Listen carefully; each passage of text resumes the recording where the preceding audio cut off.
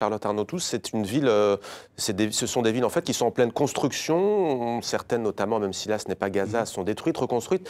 C'est un projet qui est parfaitement ancré, si je puis dire, dans, la situation euh, en dehors du côté purement politique que connaît cette région du monde. Hein. Oh, c'est vrai, c'est vrai. Dans le cas de Jéricho, c'est un peu plus ancien que, que le XXe siècle. Je pense que ça, euh, c'est plus vieux. C'est la particularité de Jéricho que d'avoir été euh, sans cesse détruite et reconstruite. Elle avait été maudite dès, dès les temps bibliques. Elle, elle, se reconstruit. Et c'est vrai que nous, aujourd'hui, on s'inscrit on s'inscrit dans un mouvement, un mouvement, euh, un mouvement qui cherche à revaloriser, mmh. euh, vraiment à, réinventer euh, la ville palestinienne. Et en ça, on est accompagné par tout un tas d'acteurs locaux, culturels, des artisans. il y a l'Institut français notamment qui est avec vous. Quels autres partenaires vous êtes dans, cette démarche? On a la mairie Jericho qui est, qui est vraiment très, active, très, active, très mmh. présente. Elle nous accompagne avec des, acteurs comme le, que ce soit le maire ou la chargée de la culture qui, est, qui, est, qui nous aide beaucoup. Euh, on a aussi euh, le,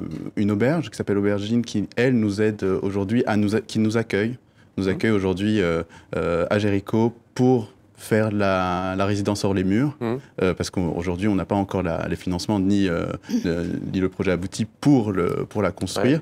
Et on a aussi un, un, un partenaire hors de Jéricho, qui aujourd'hui accueille la résidence à Amman, qui est euh, Fada 317, et qui, avec Mike Derderian, qui, euh, qui est un personnage euh, hyper assez intéressant, qui a investi une ancienne usine à Amman, qu'il a désaffectée pour y faire un centre de, de, création artistique, et dans laquelle on a, on a, on a introduit Adel Bentounsi pour, pour faire son, sa résidence.